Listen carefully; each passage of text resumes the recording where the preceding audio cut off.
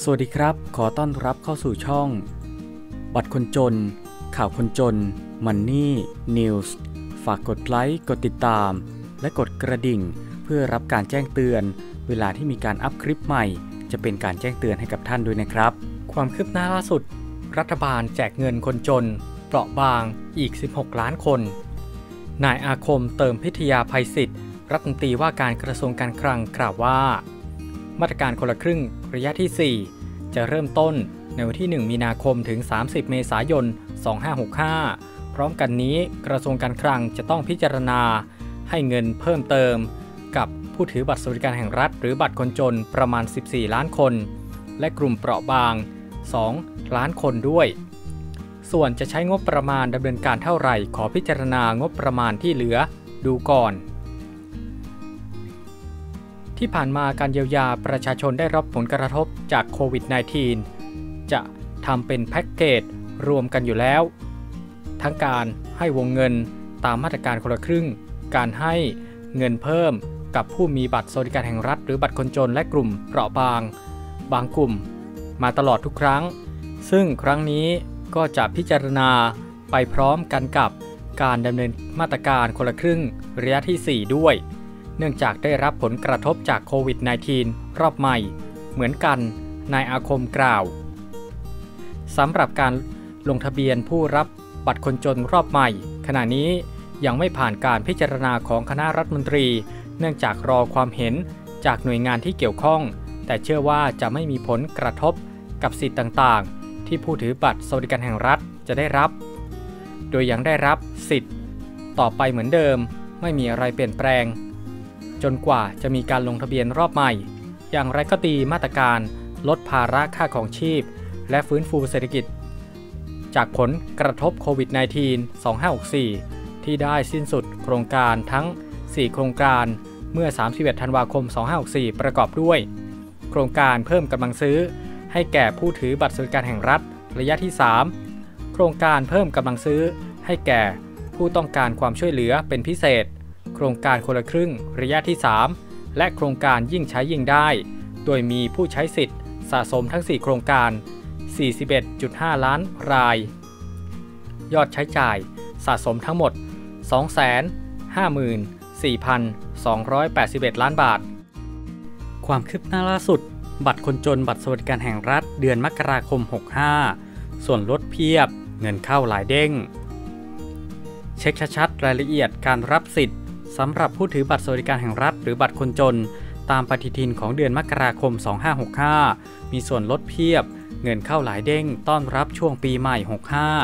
65 วันที่ 1 มกราคม 2565 ได้เท่าไหร่ วงเงินค่าซื้อสินค้าอุปโภคบริโภคที่จำเป็น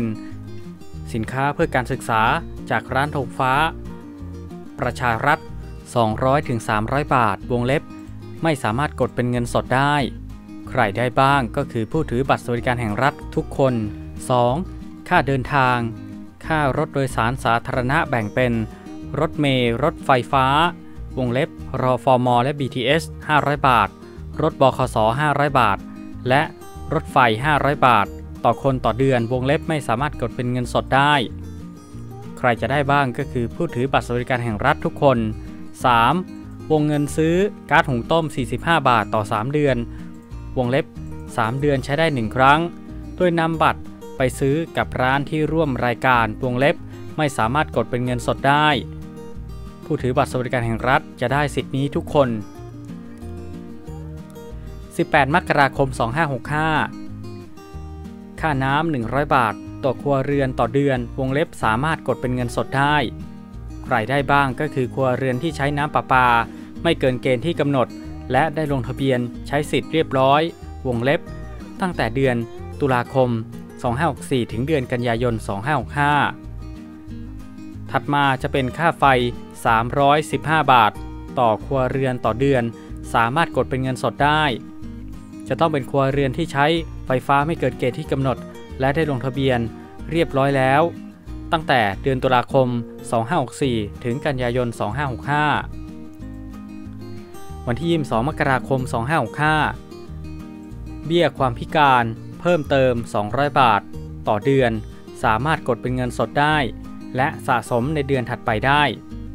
ใครได้บ้างก็คือผู้ที่มีอายุ 18 ปีขึ้นไป ที่มีบัตรสวัสดิการแห่งรัฐสำหรับผู้ที่มีความพิการที่มีอายุต่ำกว่า 18 ปี โอนเข้าบัญชีธนาคาร 1,000 บาท ต่อเดือน วงเล็บจากเดิม 800 บาท ต่อเดือน และผู้ที่พิการที่มีอายุ 18 ปีขึ้นไป ที่มีบัตรสวัสดิการแห่งรัฐโอนเข้าบัญชีธนาคาร 800 บาท และจะได้รับเบี้ยความพิการ 200 บาทต่อเดือน ตั้งแต่เดือนตุลาคม 2563 เป็นต้นไป โดยจ่ายเข้ากระเป๋าเงินอิเล็กทรอนิกส์ หรือ e-money ในบัตรสวัสดิการแห่งรัฐ ทั้งนี้หากมีข้อสงสัยสามารถสอบถามข้อมูล การใช้จ่าย เงินได้ที่ call center บัตรสวัสดิการแห่งรัฐ โทร 02 09 2345 ทุกวันจันทร์ถึงศุกร์ตั้งแต่เวลา8นาฬิกา30 นาทีถึง 17นาฬิกา30 นาทีหรือที่กรมบัญชีกลางโทร 02 270 6400 ในวันและเวลาราชการ ความคืบหน้าล่าสุดของบัตรคนจน เปิดไทม์ไลน์วันโอนเงินบัตรคนจนเดือนมกราคม จากกรณีความคืบหน้าในโครงการรัฐ ในการโอนเงินเยียวยา บัตรสวัสดิการแห่งรัฐ บัตรคนจน ประจำเดือนมกราคม 2565 ล่าสุด กรมบัญชีกลาง สังกัดกระทรวงการคลังได้โอนเงิน ตามไทม์ไลน์ที่กำหนดเอาไว้ ให้กับผู้ถือบัตรสวัสดิการแห่งรัฐจำนวน 13.5 ล้านคน ซึ่งเป็นผู้ถือบัตรรายเก่าที่มีการลงทะเบียนไว้แล้ว สำหรับไทม์ไลน์การโอนเงินในเดือนมกราคม 2565 มีรายละเอียดดังนี้ครับ วันที่ 1 มกราคม วงเล็บไม่สามารถกดเป็นเงินสดได้ และไม่สามารถสะสมในเดือนถัดไป วงเงินซื้อสินค้า 700ถึง800 บาทต่อเดือน เป็นวงเงินเดิม 200ถึง300 บาท และวงเงินจากโครงการ เพิ่มกำลังซื้อ 500 บาท ถัดมานะครับจะเป็นส่วนลดค่าก๊าซหุงต้ม 45 บาทต่อ 3 เดือน ถัดมาจะเป็นค่าใช้จ่ายในการเดินทางประกอบด้วย ค่าโดยสารบคส500 บาทต่อเดือน ค่าโดยสารรถไฟ 500 บาทต่อเดือน ค่าโดยสาร รถไฟฟ้าขสมก MRT BTS และ ARL 500 บาทต่อเดือนสำหรับผู้ถือบัตรสวัสดิการแห่งรัฐ ที่อาศัยอยู่ในเขตกรุงเทพมหานครและปริมณฑล วันที่ 18 มกราคม สามารถกดเป็นเงินสดได้ และสะสมในเดือนถัดไปได้ จะเป็นเงินคืนค่าไฟฟ้าไม่เกิน 315 บาท ต่อครัวเรือนต่อเดือนสำหรับผู้ถือบัตรที่ใช้ไฟฟ้าไม่เกิน 315 บาทต่อเดือน เงินคืนค่าน้ำประปา 100 บาท ต่อครัวเรือนต่อเดือน วงเล็บสำหรับผู้ถือบัตรที่ใช้น้ำประปาไม่เกิน 315 บาทต่อเดือน จะได้รับเงินคืน ค่าน้ำประปาไม่เกิน 100 บาท ส่วนที่เกินจาก 100 บาท ผู้ถือบัตรเป็นผู้ชำระเอง วันที่ 22 มกราคม สามารถกดเป็นเงินสดได้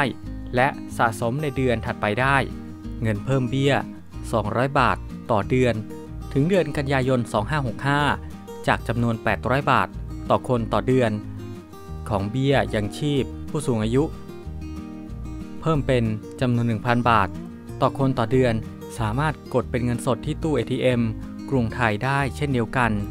ทั้งนี้ในปี 2565 สำนักงงานเศรษฐกิจการคลัง จะมีการพิจารณาหลักเกณฑ์ และเงื่อนไขต่างๆสำหรับผู้ถือบัตรสวัสดิการแห่งรัฐ บัตรคนจน เพื่อช่วยเหลือผู้มีรายได้น้อย ให้ตรงจุดมากที่สุด และประชาชนสามารถใช้บัตรประจำตัวประชาชน แทนบัตรสวัสดิการแห่งรัฐได้ ความคืบหน้าล่าสุด บัตรสวัสดิการแห่งรัฐ เดือนมกราคม 2565 รับเงิน 9 รายการสำหรับผู้ถือบัตรสวัสดิการแห่งรัฐ อีกไม่กี่วันก็เข้าสู่ปี 2565 แล้ว หลายคนสงสัยว่าจะได้รับสิทธิ์อะไรบ้าง มาดูกันเลย เช็ค 9 สิทธิ์ที่ประโยชน์ของผู้ถือบัตรสวัสดิการแห่งรัฐ ล่าสุดเดือนมกราคม 2565 รับ 7 หมวดหมู่ 9 รายการ พร้อมสิทธิประโยชน์มีหลายรายการ ที่สามารถกดเป็นเงินสดได้ เช่น สิทธิประโยชน์ คืนเงินค่าไฟฟ้าในบัตรสวัสดิการแห่งรัฐ เงินคืนค่าน้ำประปาเป็นต้น เช็คสิทธิประโยชน์บัตรสวัสดิการแห่งรัฐ ล่าสุด มกราคม 2565 วงเงินรูดซื้อสินค้า 200-300 บาท 2. เงินช่วยค่าก๊าซหุงต้ม 45 บาทต่อ 3 เดือน 3. เงินช่วยค่าก๊าซหุงต้ม 100 บาท วงเล็บของขวัญปีใหม่ 4. ช่วยค่าเดินทาง บขส 500 บาท 5. ช่วยค่ารถไฟ 500 บาท 6. ช่วยค่าเดินทาง ด้วยรถไฟฟ้าขสมก 500 บาท 7. เงินคืนค่าไฟฟ้าสูงสุด 315 บาท 8. เงินคืนค่าน้ำประปาสูงสุด 100 บาท 9. เงินเพิ่มเบี้ยความพิการ 200 บาทสำหรับค่าน้ำค่าไฟสามารถกดเป็นเงินสดได้นะครับ ทุกวันที่ 18 ของเดือน หากมีความคืบหน้าอย่างไร ทีมงานจะนำมาอัปเดต ให้อีกนะครับ